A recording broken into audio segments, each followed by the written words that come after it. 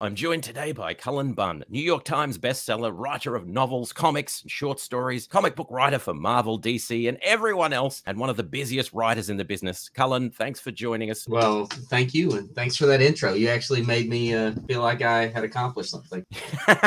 you, you definitely have, and I have to mention as well the flat cap, which is much appreciated. I would say I did it just for you, but uh, but no, this hat is a way of life. That's what editing is for, my friend. Uh, in the edit, it'll it, all all you'll hear is that little bit where you say, I did it just for you. I did it just for you. So I wanted to start with where you are at the moment. There is a certain perception about what it is like to be, you know, a well-known author or a successful writer. What what does your day-to-day look like? What's the reality of being in your um in your position? Uh, so it, it varies. Uh, it's it's never quite the same. So in that I'm never working on the same thing. I don't have a set thing I'm working on every day. But I can tell you that I work from about eight o'clock in the morning until about six at night every day. Every day. I work maybe an hour or two at night. My hobbies right now are working on stories. So when I so when I sit down and, and I'm just gonna relax and do something, I'm gonna work on one of my stories. So there's a lot of hours that go in there. And I treat it very much like a you know a full-time job. And I know there are gonna be people out there that say, oh, don't glorify overworking. And they're absolutely right. I'm not glorifying overworking. Don't do what I do, but this is what works for me. That's how I treat my my day to day. It's what I like to do. It's how I like to spend my time. I spend time with my family, my kid, my wife, but free time is dedicated to writing for me. And when I say that, some of it's writing, but a lot of it's outlining, a lot of it's responding to emails or doing counting work. That's when I say it changes from day to day. How do you feel then on those days where you get caught up in admin, promotion, business calls, all that sort of stuff, and you don't get to writing? It can feel a little uh, like I've been a little unproductive. And I, I don't love those. I don't love that feeling, especially if deadlines are looming. So I know that I've got something that's due in the next couple of days. In the best of circumstances, the best of worlds, if I can write five pages of comics a day, I'm on schedule for everything I do. And five pages isn't a lot as long as you're not overwhelmed with phone calls and meetings and trying to chase down money and everything else that goes with being a, a writer. Are you the kind of writer that will have four or five projects going at the same time? I'd be very nervous if I were only working on four or five projects at a time. I, I wouldn't. I would not like that feeling at at all. I want I need more than that. I don't want to say how many I feel comfortable with. I I need more projects than that going on at one time. Now, I typically I work on a project and I focus on that project and you know, I have a I have a daily plan. This is what I need, you know, this is what I should be working on. Sometimes I bounce back and forth, but typically when I'm writing a script for instance, I'll focus on that script until it's done. I might go out at the in the evening and sit at a bar and outline a couple of another a couple of issues of another project, but my main focus in writing would be that script. I would be very nervous if I were only working on four or five projects at a time. I like to know what's next. I don't ever want to be working on a project and look to the future and say, oh, I don't have anything next. I would be terrified if that were the case. So I like knowing what's next. I like creating stories. So I'm always developing new ideas. Uh, so there are a lot of ideas that are in various stages at any given time. I've said this elsewhere, and I think people think I'm being facetious when I say it, but I'm not. I also live with the certainty that this is all going to go away. There will come a day when this doesn't work for me anymore it won't work. I can't make a living and it's gone. So I want to create what I can while I can. And that keeps a little bit of a fire burning. Creators need to understand the reality of it is before I became a full time writer, I was a vice president of marketing. And I left that job, jumped with both feet into being a writer, and I've never looked back and I've always been happy. Financially, I've always done okay. I've done pretty, I've done better than I did as a vice president of marketing every year, except one, which I made less than I did make as a college student working part time at a Dairy Queen. That's a brutal reality. That year was really hard. That year impacted me for several years to come. It took a while to recover from from that. It's just the nature of being a freelance writer. I thought I was busy. I thought I was being, I thought I was pretty busy that year, and uh, apparently I was busy on the wrong things. so where did it all, all start with you? When did you first think, hang on, this is something I, I, I like and I can do? Well, I you know I feel like I always since I was very young, I was always telling stories. I was always fascinated by telling stories. I was drawing my own comics and writing my own comics. I was passing them out to my friends in in school. My dad had a copy machine in his office, so I would I was taking them. I was making copies of my hand drawn comics and passing them out to my friends every Friday at school. And then a few years later, I was publishing them and going to. I was setting up at conventions with my mini comics and selling comics at conventions wow. for like twenty five cents a piece. And then I got into writing short fiction. I was really interested in that. So I, I just I've always wanted to tell stories, but and I don't care if it's comic books, prose, TV, film. I don't care. I just want to tell stories that people will read. It took me a while to get there. It was a struggle, but it's what I always wanted to do. So now I'm going to hold on with uh, a with, a, with a death grip until uh, until it's gone. Nothing unusual about a 4 a.m. call to a back alley in downtown Kenton. A young woman lying pristine and unmarked on the cold, hard ground. I get to work quickly, but there's not much to go on here. No marks of any kind, no signs of struggle, just a dead Vic in the middle of an alley. And then there's that. Dead body in a dumpster that looks like a grizzly bear has crawled its way out of his stomach.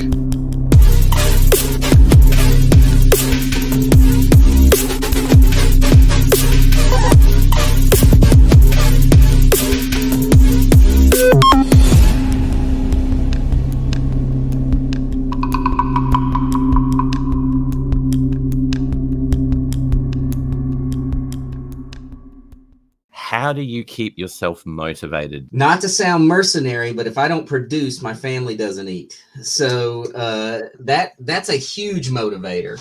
It used to be the only motivator that I needed, really. That and just a, a desire to tell stories. Within the last few years, I don't feel you know I've definitely lost a few steps in terms of motivation. There are days where I just like, oh, I just don't want to do this. I just can't do it. I've always said to myself, if you're not writing during work time, you're just gonna sit in front of your computer. So I do. I sit in front of my computer and sometimes I just sit here like, you know, just uh sometimes I read a story that I love. I go and pick up a comic that that inspires me or something like that. Or I'll watch a movie that gets the juices flowing and just anything to kind of kickstart that creativity again in order to to get working. That's the that's the windmill I'm trying to tilt right now is to figure out how to always be motivated. Yeah, well let me know when you uh, when you discover that one the biggest amount of my creativity goes into comics right now. And the reason for that is I'm not very patient and comics turn quickly. A script gets written, I start seeing art. And that seeing the art, seeing the creative process, seeing someone interpreting the work is important to me. It, it, helps me stay motivated. And then they hit the shelf and seeing people reading them and talking about it. I need that. You know, I love writing prose, but the wait is brutal I know some creators who are in it for the act of creation. And I, I, like the act of creation, but the biggest thing for me is having people read it and see it. And right now, comics, it's it's a much more immediate gratification. So I have to recognize that for me, I need that in order to stay and that helps. If I'm really having trouble with comics, I can focus on writing the numerous novels I'm working on or whatever. I'll focus on that for a little bit. Focus on one thing and it helps break blocks or break stagnation on others.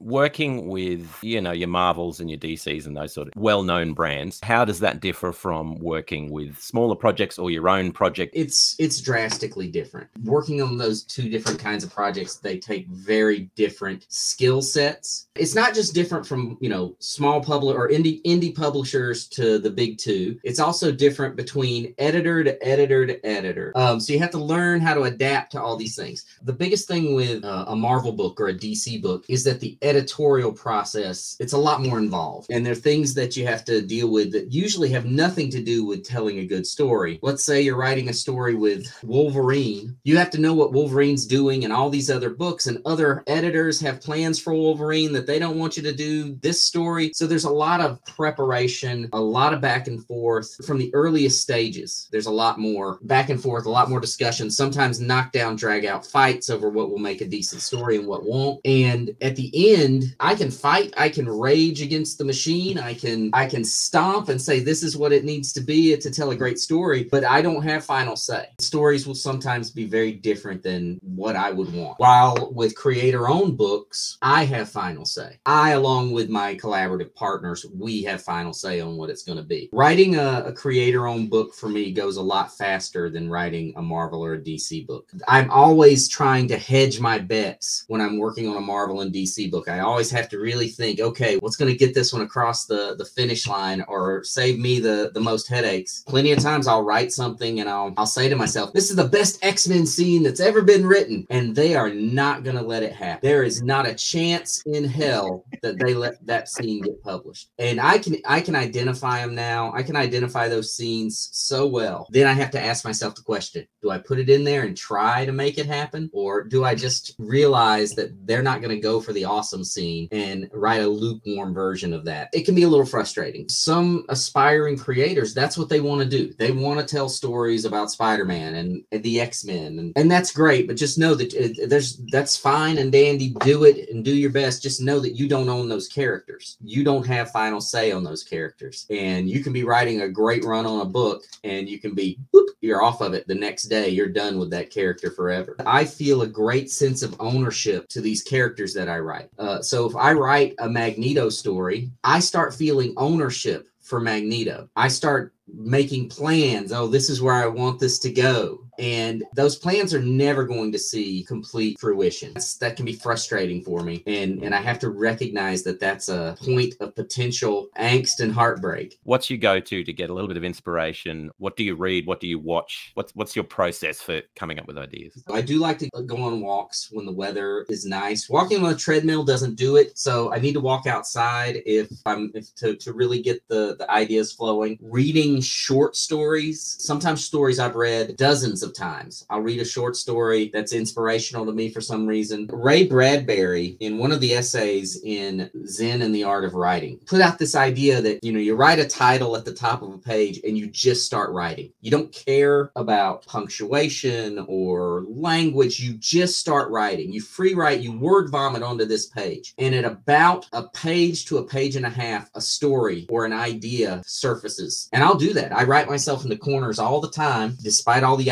I do. I still write myself into these terrible corners. And when I get into these corners, I'll sit down and I'll just start writing. And it might be Venom is fighting three villains that he has absolutely no possibility of defeating. They are too powerful for him. What am I going to do? And then I'll just start writing. Well, Venom was an idiot to get here. And I'll just start writing all these, you know, writing it out. And eventually, in that writing process, the solution presents itself. And I'll say, there it is. That's the the piece of the puzzle. And and that is my favorite way to kind of solve problems or to brainstorm or to get rid of writer's block. That free writing for a little bit. It's sort of focused free writing because I usually it's a, you know, I'm posing a question or I've got a title at the top that I want to write about. That focused free writing will often solve all the problems. It shifts the gears in my brain so I'm less worried about, you know, how am I going to make this happen? And it's just you're thinking on on different things. And it works for me every almost every time. Your oh, your advice to a up and coming writer, someone wanting to get into the business, whether in I want to write, I want to do that for a living, what would be the advice you would give someone if they were starting kind of now? Uh, I wish I'd have known this when I was starting. Don't wait for permission. Don't wait for someone to give you permission to create. Just do it. You don't have to have permission to tell stories. So just tell us, write your own stories. Do st- things that are unique to you. That means if you if your dream is to write Spider-Man, you have to have permission you know, to actually get in the door at Marvel and write Spider Man. You don't have to have permission to tell stories. So just tell us, write your own stories, do st- things that are unique to you. Publisher won't give you the time of day. Pursue self publishing as an option, pursue publishing online, crowdfunding.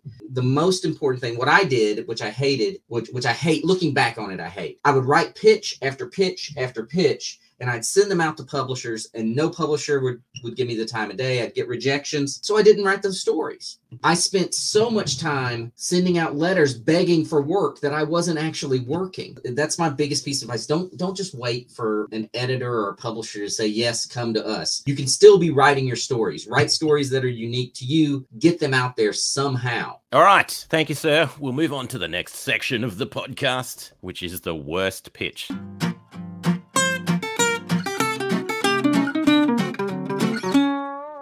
Basically, uh, a thousand babies are born at the same time on the same day, all around the world, that look and, and are completely genetically identical in every single way. Scientists start getting involved. What's going on? There's some sort of no other connection other than the fact that they're genetically perfect twins of each other. And then the scientists discover the cause of all of this. So basically, the way this is a film. So the first uh, hour and a half is the birth of these kids, and then a scientist in a lab trying to figure out what's going on. Uh, and then they find that the the answer is extraterrestrial DNA has been found, and it's just a randy alien dude that came to uh, came to Earth impregnated a whole heap of people and then disappeared. I don't think that's a terrible idea. I mean, I don't know how you pull that off in any medium, but okay. Yeah.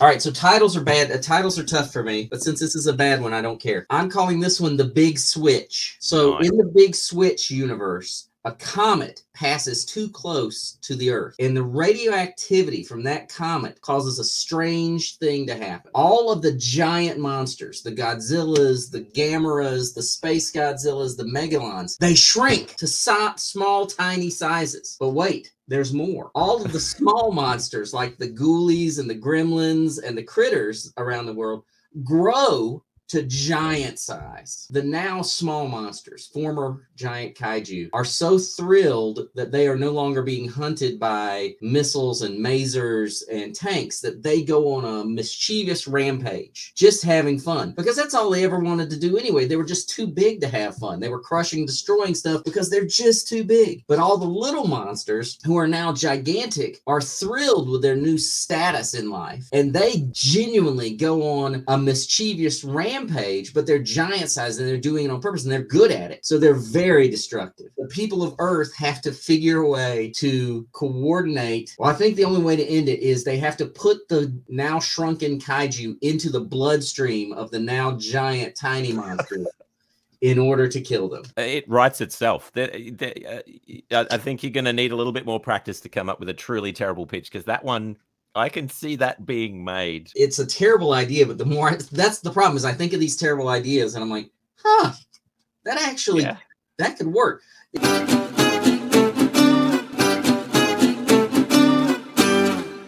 Um, all right. Well, thank you, sir. We're going to move on to the final section, which is the rapid fire question phase. So, first question In the future, all ink is removed from human bodies. It is mandated that everyone is required to get one tattoo that is unique to them. What is that tattoo and where do you get it on your person? This body's a temple, so it's very tough for me. To, I hear you. I hear you. um, maybe like a, a tattoo of a micronaut, just like right over my heart. there you go. Right over the heart where no one will see it except those you love. Right. All right. So you have to pass on one toy from your childhood to your children and future generations. What is Oh. that toy? But a single toy, even now that I said I'd get a tattoo of a micronaut, it wouldn't be a micronaut. Uh, when I was a kid, uh, there was a toy line called the Adventure People, and most of them were like the park ranger or the the the sheriff or the the nurse.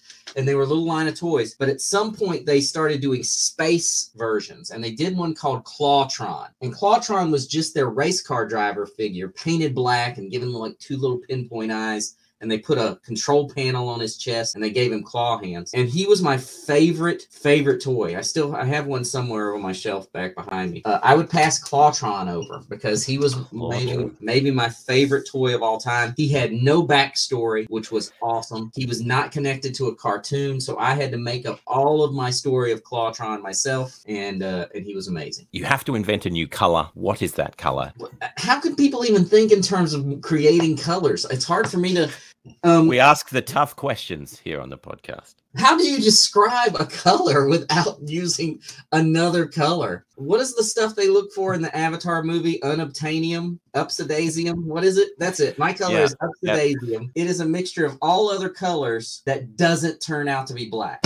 So somehow that it main, maintains all of the colors and, the- and the spectrum. It's every color at once. Upsidaisium available at your local paint store. Right. All right. So the final question. Now, this one has some stakes to it. Uh, in the future, the far distant future, let's say 2025, humanity is served by a new servant race that looks after our children, cooks and cleans for us, does all of that sort of stuff. And life is wonderful for us humans. You, as the decider of all things, get to decide which uh, race of beings is that servant class. And it can either be sentient, self aware AI robots or demon creatures that are shackled with uh, magical power. Which would you choose? And then after your choice, we will roll the dice, figuratively speaking, to see how that turns out. Who comes up with these questions? Are these all you? these are me. I like to put people on the spot that I would never have an answer for. Um, I think that mankind is served by a tiny by tiny wind up robots, and they only work when you wind them up. So they only work for like 20 seconds at a time, and then you have to wind them back up. But, so we all have RSI from from twisting. You, to, you just have to keep winding little robot up and let it go. So you know you what you need your slippers. Go get the slippers, and the little robot slowly walks on his little windy legs and goes and picks up the slippers and comes back. But he probably runs out of juice about halfway to the slippers and definitely halfway back. Millions of them all over the world in yeah. our houses doing you stuff. You can't walk. You can't walk anywhere without it because I also feel like there are specially designed robots who wind up other robots. So you have to wind up the that yeah. wind up one robot and then it will go and wind your other robots up. And I'm picturing instead of you know, in traditional taxis, we have rickshaws that have robots at the front of them, and also not robots slow. with wheels. They don't have wheels; they have legs. They just have the legs. legs that move slowly. Yeah. yeah, that's what I like. All right. Well, that's that's a fantastic addition. So we're going to go with that, and I will uh, roll the dice and see what happens to the future of humanity. Here we go. Wow, this doesn't happen very often on this show. The wind up clunky robots serve humanity on into the future because they don't have souls and they're not really super self aware or they're only aware for 30 seconds at a time. We don't feel guilty about them. They're just machines. They don't ri- rise up against us because they've only got 30 seconds worth of aggression anyway. then they're done. Right. So it all ends up marvelously for the next thousand years or so for humanity. So well done, sir. You have uh, you have won for humankind. Well, that's uh, that's what I do. I win for humankind. Well done, sir. Well, thank you very much, Cullen, for joining us. It's been an absolute uh, pleasure talking with you today. Well, thanks for having me. I really appreciate it.